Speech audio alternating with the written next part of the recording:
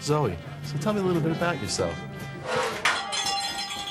Excuse me, Garvey, it's an emergency. I'll be right back. Don't worry, guys. This won't take me but a minute. Mention this ad and save 50% off installation on all doors and windows. I